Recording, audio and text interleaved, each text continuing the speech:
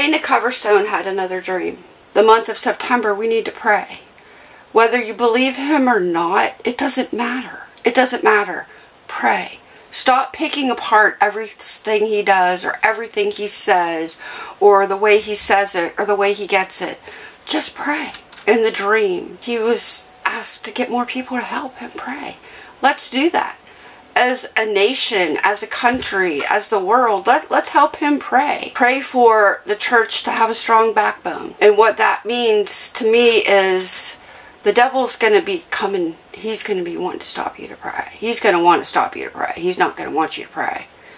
He's not going to want you to talk to Jesus at all. So he's going to put doubt in your mind, doubt in your head. Don't let him do that. Fight the devil. It's going to be a hard month of September. Fight him. Fight him the best you can and keep praying. Keep praying.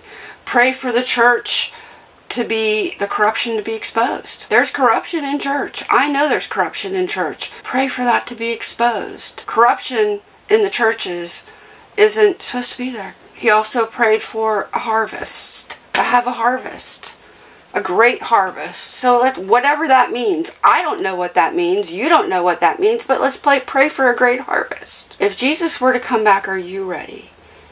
Is your family ready? Because in that dream, he didn't give a date. There's no date. God will never give us a date.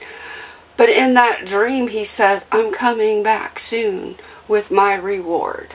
Are you ready to have that reward? Is your family ready to have that reward? How do you get that reward? You ask Jesus into your heart. Just ask him into your heart. He's there waiting for you. He's just there waiting for you. Ask Him into your heart. Ask Him to forgive you for all of your sins. All of them. All of them. And He will.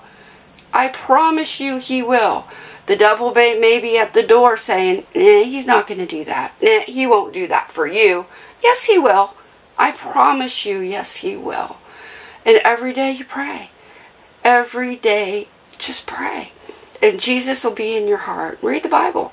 Start reading the Bible. Fight the devil. Don't be embarrassed to stand up for your God.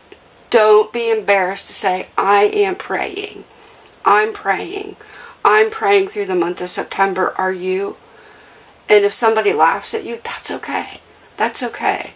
Go to your family members and tell them to pray. Ask them if they're ready. If Jesus comes, are you ready? And tell them how to get ready. Tell them, you know, and if they push you away, pray for them. Just pray for them every day. Have faith. Have faith that they too will find Jesus. They'll find it in a different way. Maybe it's not through you. Maybe it's through somebody else. But pray. That's all you have to do is pray. Ask Jesus into your heart. Ask Him to forgive you for all your sins. And start living a good life. God will give you a good life. You may have troubles at times. That's okay. I have troubles in my life. But you have to have faith and not give up. Not give up. God has a reason for everything. God has a reason for everything. So, the month of September, what are we going to do? We're going to pray. We're going to pray as a nation. We're going to pray as a country. We just pray. Pray for the church to have a strong backbone. Pray for corruption in the church to be exposed. And pray for that great harvest.